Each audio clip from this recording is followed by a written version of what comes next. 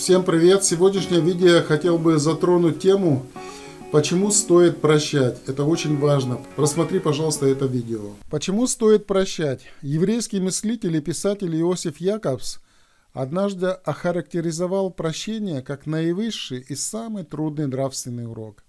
На самом деле многим нелегко сказать «я тебя прощаю». Прощение – это все равно, что деньги. Их можно щедро и с любовью потратить на других или, скупясь, удерживать при себе. Первое – это то, чего ожидает от нас Бог.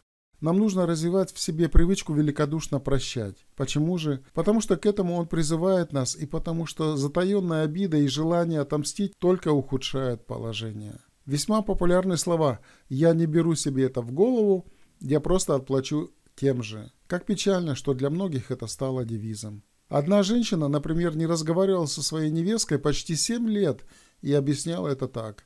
Она сделала мне ужасную подлость, которую я ей ни за что не прощу. Однако с помощью такого бойкота редко можно добиться того, чтобы, другой признался в своей неправоте. Скорее наоборот, ссора затягивается и образуется целый клубок взаимных обид. Если этот мучительный круг не разорвать, то сильное желание отомстить может подорвать отношения или даже твое здоровье. Таким образом мы видим, почему стоит прощать. Во-первых, ради самого себя, чтобы не подрывать свое здоровье. Потом ради этого человека, который нас обидел, потому что мы сделаем нечто хорошее для него, и мы сделаем то, что ожидает от нас Бог. А Он говорит, что мы даже должны прощать врагов наших. Наверное, в этом что-то есть.